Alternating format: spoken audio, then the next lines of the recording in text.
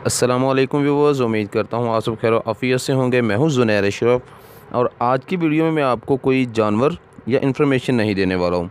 सिर्फ़ एक चीज़ दिखाने वाला हूँ। चीज़ यह है कि इंसान का जानवर से प्यार और जानवर का इंसान से प्यार। बेसिकली ये शदाब भाई जो कि रावलपिंडी से ताल्लुक़ रखते हैं, उनका शौक़ था कि वो कुर्बानी के लिए अपना एक बकरा तैयार करें। उन्होंने डेढ़ साल लगा के अपना एक जानवर तैयार किया और जब उसको कुर्बान करने का वक़्त आया तो जानवर का प्यार देखकर सब हैरान रह गए।